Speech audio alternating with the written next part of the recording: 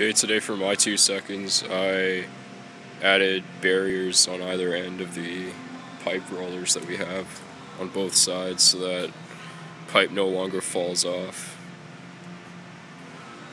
Thanks.